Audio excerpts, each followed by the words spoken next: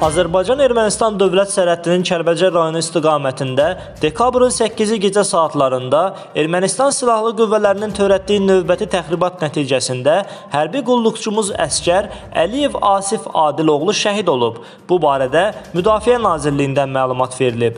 Müdafiə Nazirliyinin rəhbərliyi şəhid olan hərbi qulluqçumuzun ailəsinə və yaxınlarına dərin hüznlə başsağlığı verir, səbir diləyir.